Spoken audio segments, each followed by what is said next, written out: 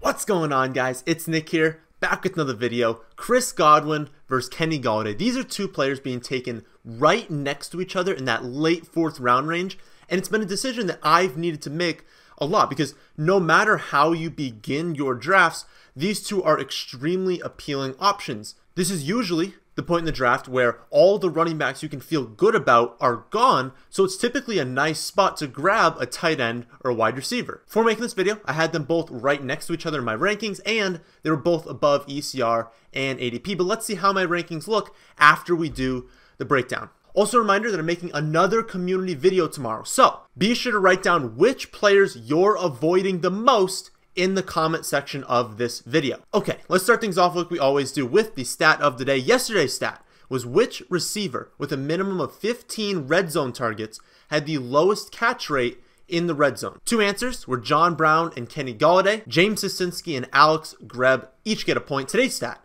there were 41 wide receivers that gained at least 700 receiving yards last season. However, just two of them did so on less than 400 routes run. Name one. All right, let's start this breakdown with Kenny Golladay. And in his second season last year, he posted a 70 receptions, a little under 1,100 yards, and five touchdowns, finishing as the wide receiver 21 in half PPR scoring. There are two concerns that people bring up when drafting Kenny Golladay. The first is Marvin Jones. With Marvin Jones in the lineup, Golladay averaged 2.7 fewer targets per game and about 10 fewer receiving yards. When both of them shared the field in their first nine games, Marvin Jones was targeted 15 times deep down the field, and Golladay was targeted just eight times deep down the field. That number for Golladay shot up to 16 over his final six games without Marvin Jones. That was good for the third most in the entire NFL over that stretch, and that's a massive difference going from eight total deep targets for the first nine weeks to 16 over the final six. He also saw a higher target ceiling with two games of 15 targets in those final six games without Marvin Jones. Another thing is the red zone targets. We know that touchdowns are fairly random, especially for receivers, but players used more in the red zone expect to see more touchdowns. Over the first nine games, Marvin Jones had 11 red zone targets and Golladay had eight. Then, over those final six weeks without Jones, Golladay had another eight red zone targets. That might not seem like a lot, but Golladay had the same number of red zone targets in three fewer games without Marvin Jones. They also both finished with the exact same number of targets inside the 10 yard line, even though Marvin Jones played six fewer games.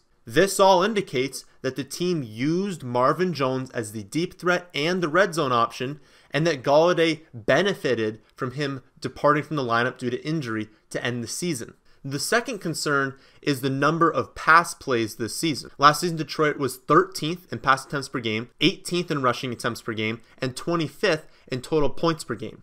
This year, the Lions want to install a more run heavy approach under new offensive coordinator Darrell Bevell. We can't know exactly how many run plays they're going to have this season because that's also related to game script. If they fall behind a ton, they're going to have more pass plays, but they want to, in neutral game scripts, run the ball more than they did last season. This is obviously a bad thing for Golladay. So those are the reasons that people might be off of Kenny Golladay, and honestly, they're legitimate reasons. You know, sometimes I bring up the reasons people are scared, um, but then I say, you know, these don't make a lot of sense, or we shouldn't be overly concerned with that. But no, these make perfect sense. The return of Jones means fewer deep targets per attempt, fewer red zone targets per attempt, and there may be fewer attempts in total in the passing game. But there is good news. You know, he's six foot four, 220 pounds, boasts a 93rd percentile height adjusted speed score, an 85th percentile SPARQ-X score. He has a massive catch radius, and he was an early breakout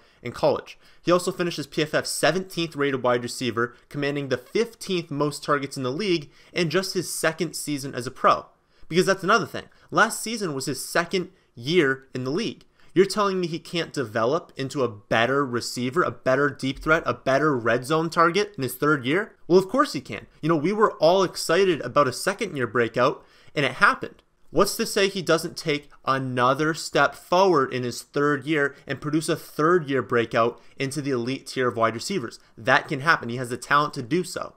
All right, let's move on to Chris Godwin. And Godwin is also entering his third season as a pro. The difference between the two is that Godwin is two years younger. He's just 23 years old, making him one of the youngest possible third year wide receivers. He's proven to be an extremely efficient wide receiver over his first two seasons, even finishing as the wide receiver 25 last year on just 95 targets. In fact, despite appearing in every single game, he was on the field for less than 65% of the team's snaps. The only reason Godwin hasn't truly broken out yet has been opportunity. He has the athleticism, 90th percentile head adjusted speed score, 96th percentile SPARQ-X score, a large catch radius, and a very early breakout age. He's also been productive when given the chance. Godwin has just eight career games with seven or more targets. His season long pace in those games 78 receptions for over 1,100 yards and 10 touchdowns. And that would be on 148 targets, which you might think is a bit high, but it's possible this season. The Bucs lost Adam Humphries to free agency, and then they traded away DeSean Jackson. Well, that frees up 179 targets in the offense realistically, only 15 to 20 of those could go to Mike Evans since he already had a ton last season. Some of them will go to Howard and Breshad Perriman, but a lot of them are going to go to Chris Godwin. He's now the clear cut slot option on this team, and that's a role that just produced a 76 reception for 816 yards and five touchdown season to Adam Humphries. You know, if the community can agree on one thing, it's that Chris Godwin is better than Adam Humphries. This new full time role is going to produce an even higher catch rate and more total targets.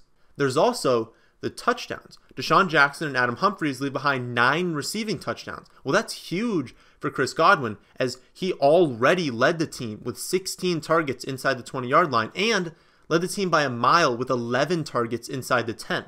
That last stat was tied for the fourth most in the NFL. And remember, this is while playing in less than 65% of games. He had the seventh highest team market share inside the 10 yard line, and his snaps and target share are going to increase by a lot this season.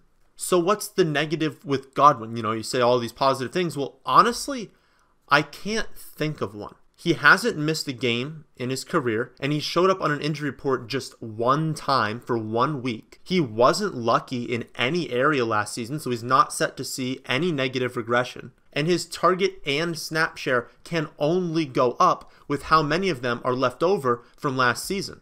He's on a team that still has a bad offense, still has a mediocre ground game, and has a new head coach, Bruce Arians, that loves to be aggressive and push the ball downfield in the passing game. I have Godwin projected for 87 receptions this season, but he could realistically see over 100. You know, Arians was the head coach in Arizona from 2013 to 2017, and during that stretch, Larry Fitzgerald produced three consecutive 105 plus reception seasons in the exact same role that Godwin is set to play this season.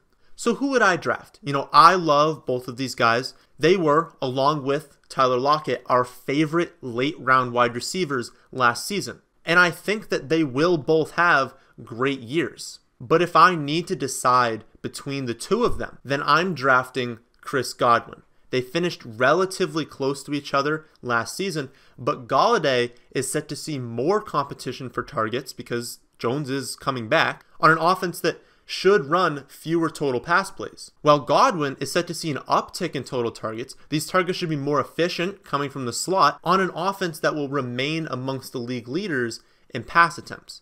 I feel much more confident that Chris Godwin will have a more consistent season this year, and he has just as much, if not more, upside.